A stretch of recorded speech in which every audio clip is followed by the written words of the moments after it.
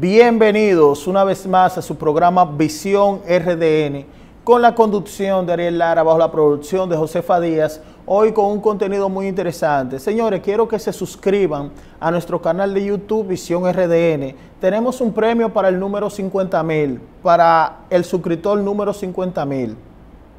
Vamos a regalar un iPhone 12. Quiero que ustedes se suscriban para que puedan tenerlo. Vamos también a suscribirnos en Spotify como Visión RDN en todas las redes sociales como RDN. Ya tenemos más de 7 millones de visitas. Hoy tenemos un invitado muy especial, un invitado ya de la casa, con el cual vamos a conversar y hacer un conversatorio de temas actuales en estos momentos y es el ex jefe de la policía, Rafael Guillermo Guzmán Fermín. ¿Cómo está, general? Bien, muchas gracias, Ariel, de nuevo por tu invitación a Visión RDN y con mucho gusto a los amigos televidentes para contestar todas las preguntas que ustedes tengan.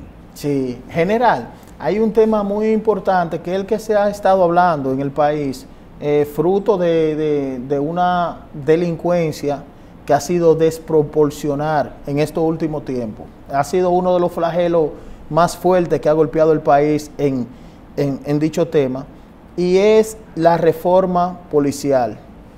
Ya se vio que el presidente Luis Abinader encabezó incluso una rueda de prensa con uno de los con los principales actores que componen la reforma. Desde su punto de vista, ¿cómo usted ha visto esta iniciativa del presidente Abinader? La iniciativa es correcta y la veo muy bien encaminada. Inclusive eh, propuso 10 puntos en, estos días al país de la reforma de la policía y yo eh, comparto cada uno de ellos. Está muy bien enfocado, realmente está bien enfocado. Eh, y lo que yo espero que eso se vaya ejecutando de manera eh, gradual, gradual como tiene que ser, pero la veo muy bien todas las medidas. Lo que tiene que ser acompañada al final, sí, es con un aumento salarial de manera que podamos dignificar a los policías. Y en cuanto a la currícula académica, a la parte de educación, esa reforma de la policía, que después vamos a hablar más adelante de lo que debe ser integral, no solamente policía nacional, sino también es integral. Eh, es un cambio cultural. La Policía Nacional tradicionalmente trabajaba en orden, ley y orden. Sí. Era una policía este, que no es como la de hoy, que debe ser de servicio a la comunidad, de proteger y servir. Y requiere un cambio cultural, porque ya a partir del 2010, con la nueva constitución de la República, pasamos a ser una, eh, un, país de democrático y de derecho, social, democrático y de derecho. Por lo tanto, hay una base fundamental de los derechos ciudadanos y la policía tiene que ser garante de esos derechos para el disfrute y el ejercicio de los derechos fundamentales de las personas. Por lo tanto, muchos policías no están en capacidad todavía de entenderlos, eh, por falta de, por falencias de la institución, falta de recursos más bien, capacitación, entrenamiento, formación, y esa situación hay que invertir en el área de educación fundamentalmente. Sí. General, porque, porque, porque, es un cambio cultural. Sí. Y todo cambio cultural requiere un proceso, un lar de, de, de, formación y conlleva un tiempo, un tiempo, eh, un cambio de mentalidad, ¿tú entiendes? Sí. sí. Y ahora que, que, nosotros vemos que lo que componen esa, bueno, lo que encabezan, los actores que encabezan para hacer esa reforma, vemos que no hay integrado un, militar, desde su punto de vista, ¿cómo usted lo ve? Un policía. Un policía. Sí. Eso es, bueno, uno de los puntos que me he referido a veces, ¿no? En algunas entrevistas, y ahora me da la oportunidad de yo explicarlo, de que eso es lo que me, me, me llama la atención, porque en esa comisión, que no dudo de que son todos notables, buenos profesionales, buenos académicos, personas muy, muy serias y destacadas en cada una de sus profesiones, pero dentro de la comisión Ahí tienen todas las buenas intenciones para hacer el trabajo y están empeñados en hacerlo, ¿eh? Sí.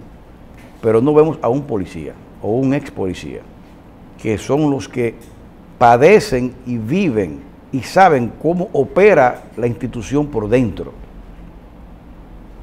Y yo tengo una analogía. Desde que se creó la aviación por los hermanos White, Sí.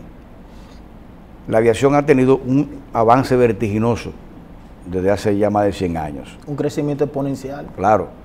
Y de un aeroplano pequeño, ya hoy en día estamos ya en Marte inclusive. Ya hay transbordadores espaciales, hasta del sector privado. Hay velocidades supersónicas de más 3, más 4 de Sí. aviones. ¿Y cómo se ha logrado eso? Con la combinación perfecta, la combinación entre la teoría y la práctica Sí. entre los que diseñan los aviones y preparan la teoría en los, de los manuales de vuelo, de los procedimientos de vuelo, pero ¿a quién se lo piden? A los pilotos de prueba, que son los que saben eh, pilotear la nave, que son los que padecen en la aeronave las limitaciones de, de esos diseños de vuelo y son los que van a morir después en, en un- en un, en un vuelo aéreo, Claro. junto con sus pasajeros. Sí. Por lo tanto, después que ellos prueban la aeronave, van donde los, los teóricos y ellos le preguntan, ¿qué pasó? Dime, cuéntame qué pasó aquí. Ellos le explican, mira, aquí falló tal cosa, esto yo creo que mira. Entonces, ellos lo rediseñan de nuevo, eh, fortalecen la teoría y después, ok, otro, ven, prueban otra vez. Pero como muestreo de la práctica. Claro, Sí. es una combinación de todo. Ya porque está todo perfecto, entonces ya lo aprueban. Y Sí. así van desarrollando cada aeronave en el futuro. Por lo tanto, en esa comisión faltan los operadores de vuelo. Sí, me, me- me- me encantó esa metáfora, como Sí. usted le, la, le pone brillantemente. Sí. General, hay un tema muy importante también. Ese mismo día sucedió algo que se pedía, o sea, a voz populi, pero nosotros sabemos que no necesariamente los jefes de la policía, o en este caso la figura que es el director de la policía, no tiene que ver necesariamente con todo lo que pasa, aunque encabeza, hay cosas también que se salen de las manos. Porque usted dirige una empresa, pero cualquier empleado puede, puede meter la pata. Claro. Y eso sale de usted. Que fue el caso de, de- del general Eduardo Sánchez, que encabezaba la Policía Nacional, que el presidente Abinader decidió designar otra persona. ¿Cómo usted eh, vio, vio ese paso y esa designación del actual general eh, Eduardo Alberto Ten? Fíjese, es como el manager de un equipo de pelota. El manager es el que sabe, él Sí. conoce a los jugadores y cuando él sacó al primer eh, lanzador que pone en el juego, que es el general Eduardo Sánchez, un buen oficial general, muy correcto, educado, muy preparado, con condiciones académicas y morales muy buenas, y lo pone a lanzar. Sí, el manager, cuando ve en un juego que su pitcher que está pichando tiene el brazo cansado, que le ve agotamiento, que es un buen pitcher, un, un pitcher estelar, sí. ¿entiendes? Pero ya le ve condiciones de que, de que ya no va a poder enfrentar los demás que vienen, la batería de, que vienen adelante. ¿Qué hace el, el- el manager? Sí, ¿Lo saca y trae un relevista? sí, ¿Sí o no? sí. Entonces, eso es lo que pasó. Él cumplió su cometido y yo creo que lo hizo bien, general Eduardo Sánchez, y trajo un relevista para el momento. Sí, que lo amerite en este momento. El perfil que requiere el país ahora mismo es un perfil como el general Alberto Ten. Ah, ok. ¿Entiendes? Tenemos un oficial de condiciones, de mando, de liderazgo institucional, porque tiene mucha experiencia, ha recorrido todas las direcciones regionales del país, muy disciplinado y además imprime autoridad tanto afuera como lo interno de la policía. Sí, De manera que se- el perfil que se requiere ahora es un oficial de esas condiciones. nosotros vimos a usted en su cuenta oficial de Twitter que usted tuiteó algo que llamó la atención y mucha gente lo apoyó, que usted se ponía a disposición desinteresadamente para que por lo menos en, en, en la rama policial, se necesitara de cualquier asesoría sin ningún tipo de, de, de costo, de nada, sino por, por, por, la patria y el país. Eh, ¿a, ¿a, qué se refiere usted exactamente para que edifique al público? Mira, la esencia del ser humano es servir, como esencia, porque el, el, el ser humano es sociable. Desde el inicio de la sociedad, de las eh, antiguas, las tribales, eh, ningún ser humano ha progresado solo. Sí. Tiene que ser en comunidad, en sociedad. Por lo tanto, de manera muy este, des desinteresada, yo he, me he puesto en disposición de, como yo ayudé también al anterior director general, Eduardo Sánchez, sí. con consejos, eh, con escritos en la, en, en, en la, prensa, etcétera. Igual también yo se lo, lo ofrezco a mi amigo general Ten eh, para que sea exitoso, porque igual es mi institución madre. Yo amo la policía. Sí. Y además yo vivo en República Dominicana, yo creo que este país sea seguro.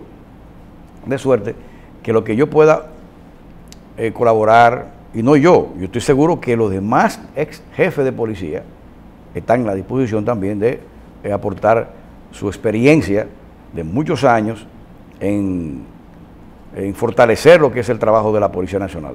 Sí, ahora que tocamos el tema del general Ten, general, que el general Ten ahora es el actual jefe de la policía, eh, usted sabe que siempre salen cosas, eh, cada vez que cambia un jefe de la policía, eh, si, siempre traen algo a, a la mesa, sí. o, o, a la prensa, o, o cualquier información. Y se ha dado una información que, ¿quién mejor que la fuente que usted? Para que usted no pueda decir si, si claro, si puede decirlo. Y era que se hablaba o se rumoreaba que usted había sido parte, eso es lo que se dice, por eso lo traje usted para que explique al público. Se decía que fue usted que puso eh, ah, yeah. al general Ten, que sí. lo, lo, lo, lo, sacaron por antigüedad en el servicio. Y me gustaría que usted explique esa parte, que hay muchas personas que no la saben. No, nada que ver con eso. Y qué bueno que tú me das la oportunidad, los amigos televidentes, sí. de poder arrojar luz a esos puntos ciegos de la historia que están este, distorsionados. Porque para hacer un poco de historia, casualmente, yo siendo jefe de la policía, recuerden que yo asumí la jefatura en el año 2007. En el 2008, eh, yo viendo el, la capacidad de mando de el, el coronel ese entonces, Alberto Ten, estaba en La Vega, eh, yo voy un día donde él y le digo, mira, Ten, eh, prepárate que yo te voy a hacer general. Eh, usted me ha hecho un buen trabajo, usted tiene condiciones, yo necesito a un general en Puerto Plata. Lo voy a nombrar en Puerto Plata. Pero tranquilo, no diga nada, que yo voy a gestionar unos ascensos y entre eso usted está. Me contento de tal cosa, porque de condiciones. Porque hay muchas cosas que no, que, que, lo, que los ascensos, que hay que, hay que dar dinero, nada de eso. Nada de en, eso. Mi, en mi gestión nunca. Contrario, yo buscaba los perfiles mejores de la institución para que me colaboraran en el mando. Y Ten era un oficial muy correcto. Que tenía el perfil en ese sí, momento. Sí, sí, sí, definitivamente. Y lo hice general en el 2008 y lo mandé a Puerto Plata. Me hizo un gran trabajo y después lo envié a Santiago, la segunda plaza más importante del país. Bueno, pasado el tiempo, ya en el 2010,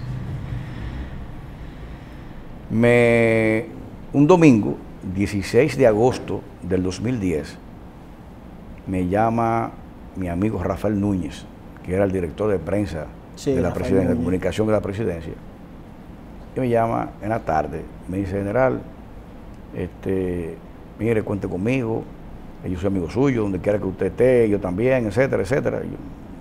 Yo, ¿qué, ¿qué, pasó? Ah, usted no sabe, ¿no? Mire, yo tengo aquí el decreto de su destitución como jefe de la policía, eh, siendo designado a la, a la asesoría militar del Poder Ejecutivo. Ah, muy bien, perfecto. ¿Y, quién me va a relevar? el general Polanco Gómez. Ah, muy bien, otro buen general, qué bueno, perfecto. Y bueno, y estoy cuento conmigo, general, gracias, Rafaelito, muy amable. Y nos despedimos.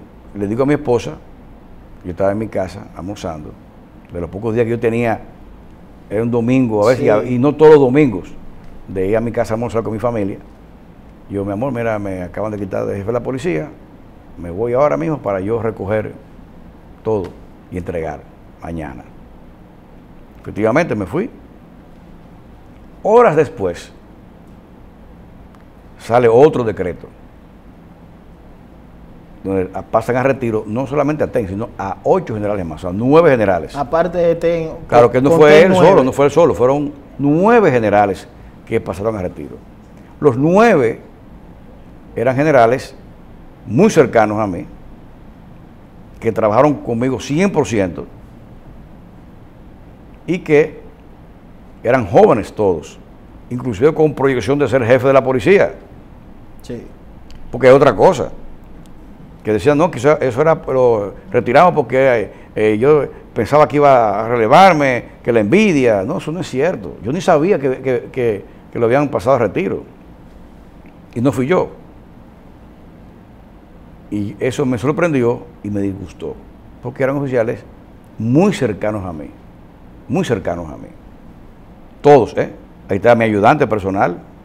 General ayudante personal. Mi ayudante personal. Estaba mi edecán personal también. Eh, ahí estaban también el, el- el- director central de la, de la policía, de, de inteligencia policial, criminal. Ahí estaba, en, ese, que era un, hombre clave.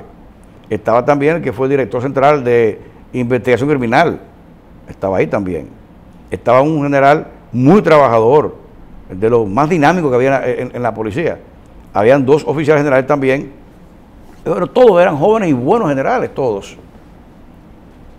Por lo tanto, eh, como prueba de, de esto, porque hay que hablar con evidencia, ¿no? Claro. Para aquellos que quieran indagar más y verificar lo que estoy diciendo con la verdad, es que el procedimiento para pasar a retiro a los oficiales, sobre todo superiores, en este caso oficiales generales, es el siguiente. El jefe de la policía, de ese entonces, hoy director general, hace un oficio numerado Sí. de los generales que va a pasar retiro y lo firma. Eso queda sentado, obviamente, en archivos de la jefatura, numerado, ¿no?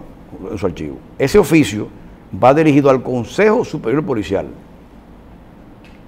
que en esa época se podía convocar, el jefe de la policía lo convocaba, o el señor ministro, o el Procurador General de la República. Sí, como dice la ley. Ahora no, ahora nada más lo, lo convocan ellos dos, no el jefe de la policía, no el director general. Pero en esa época lo hacía el jefe de la policía también, Sí. informándole también al, al, al señor ministro.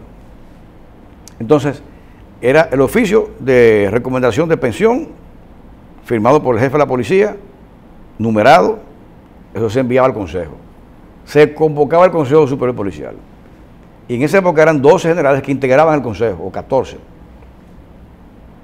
Y, o 13, ¿no? Yo creo que eran 13. Y entonces se sometía al Consejo Superior Policial. Después de las votaciones, entonces se aprobaba, lo que sea, y era sentado en la secretaría con el voto a favor o en contra, o abstención. Sí. Total, pues, enviaba ahí.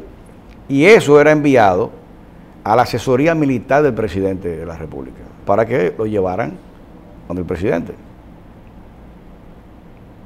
También que usted tiene que estar sentado en la asesoría militar, Sí. firmado por el jefe de la policía, firmado por el Consejo Su- Superior Policial, incluyendo la firma también del jefe de la policía, que la preside, va a la presidencia. Eso se envía a la consultoría jurídica del eso, Poder eso Ejecutivo. reposa ahí en la consultoría jurídica.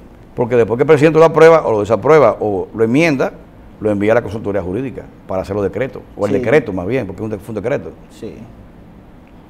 Eso tiene que estar asentado en los archivos de la consultoría jurídica del Poder Ejecutivo.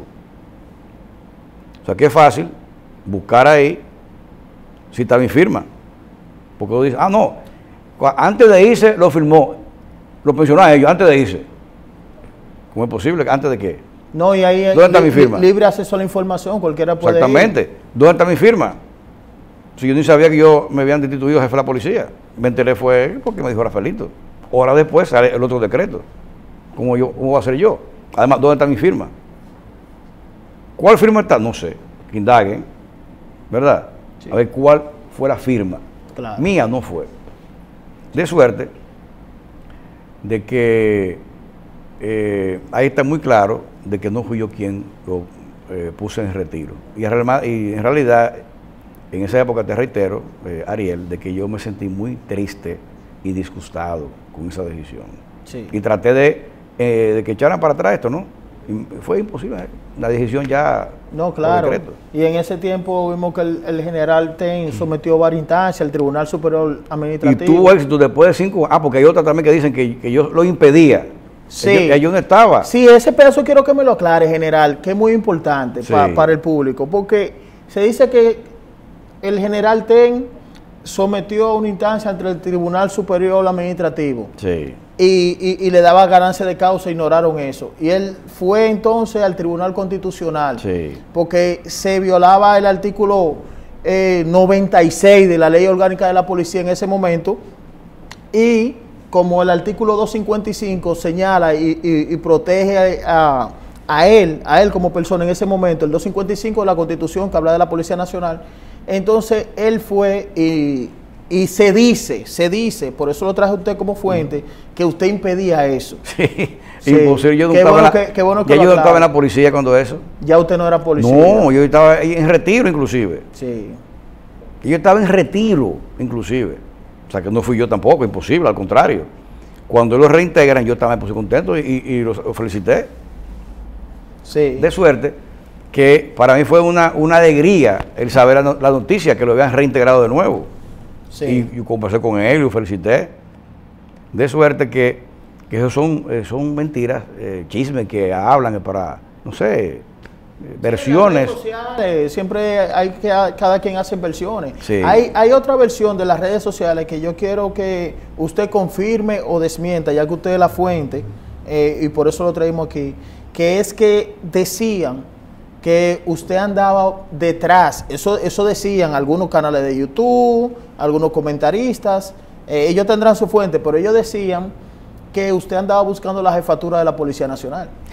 que por eso lo vean eh, En los muy, me- medios. muy mediatizado en los medios. No, tampoco, porque todo el mundo sabe, o sea, todo el mundo sabe, que la ley orgánica de la Policía Nacional prohíbe el reintegro de los oficiales que están en retiro. Sí. Está prohibido, taxativamente prohibido. De manera que yo sé muy bien, y todos saben bien, que yo no pudiera ser jamás, ni ningún general tampoco retirado, puede llegar a ser reintegrado y ser jefe de la policía o director general de la policía. Es un absurdo. Eso no se o sea, es un absurdo. Mi interés es, primero porque estoy en las redes sociales, porque es mi derecho constitucional. Claro. Yo soy un civil, ¿verdad? Sí.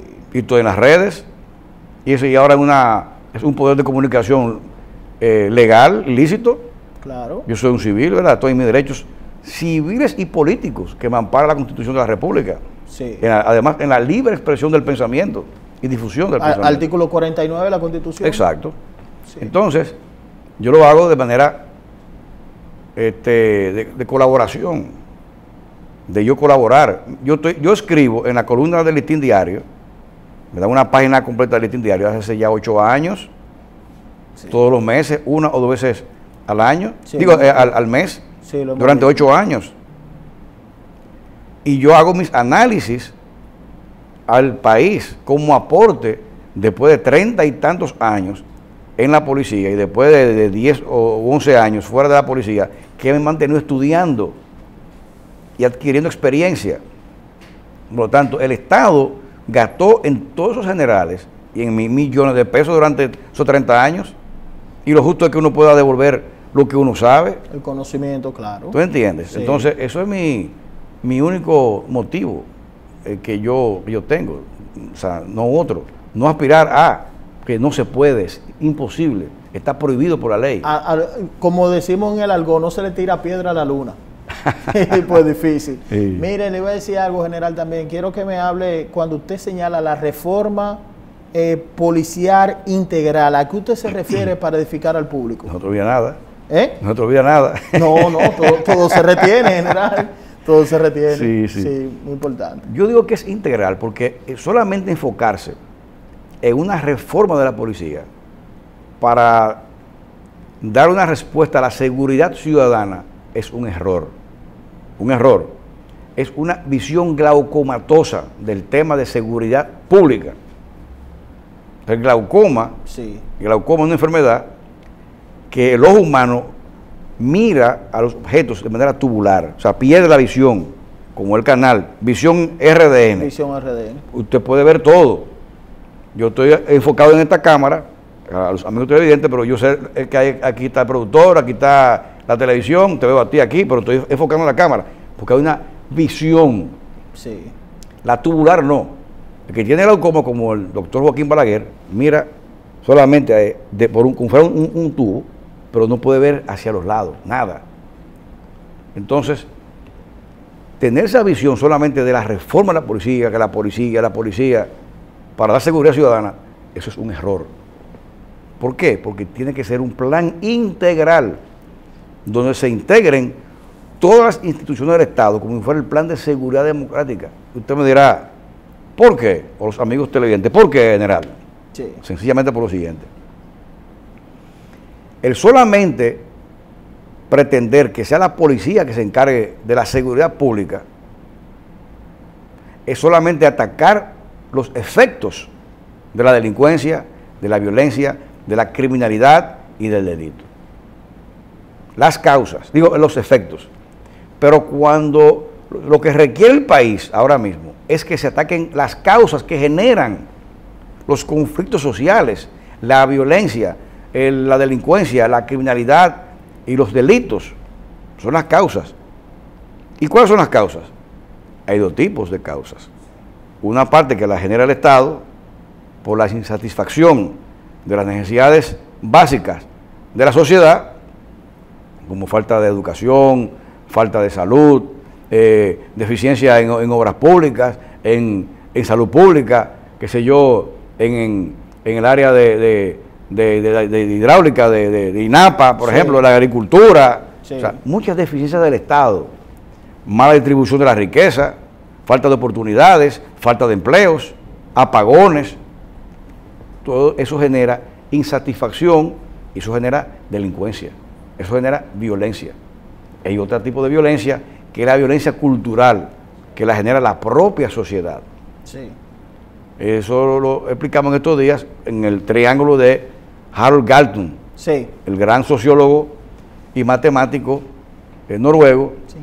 que establecía eh, este triángulo de, de- de la violencia eh, muy bien definido. Por lo tanto, el Estado tiene que enfocarse no solamente en la policía, sino en el Estado, que colabore conjuntamente con el Ministerio de Interior y Policía y la policía, el Ministerio Público y los jueces, para hacer política de prevención, que después entonces en la otra pausa vamos a hablar de lo que es prevención.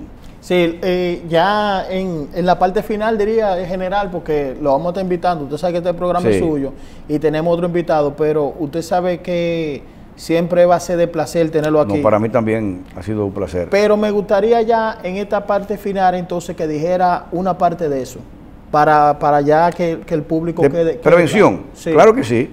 La parte, lo que requiere el, el país, la sociedad, es la prevención. No que investiguen los crímenes, Sí, que hay una gran policía de investigación criminal, pero ya está el muerto, sí, ya está el herido, ya está el robo. No, es que me eviten eso. ¿Y cómo tú lo evitas?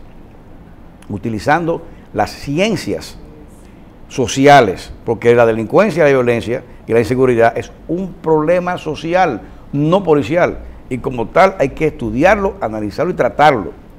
Eso son acciones sociales para hacer prevención. Y eso, eso tiene que ser en una política de conjunto del Estado, junto, todo el Estado, trabajando en, esa forma de prevención. Y para esto se requiere un plan diseñado, completo, integral, de que todos trabajen en- al, al- al unísono. Porque el delito, si vamos ya al aspecto policial, el delito, hay tres elementos que están siempre presentes en todo delito. El victimario, la víctima y el entorno. Sí. El delincuente, lo que, lo que atracan o lo matan o asesinan y en dónde lo hacen. ¿Y cómo yo puedo modificar el entorno? ¿Y por qué me están violando muchas niñas en, en tal sitio?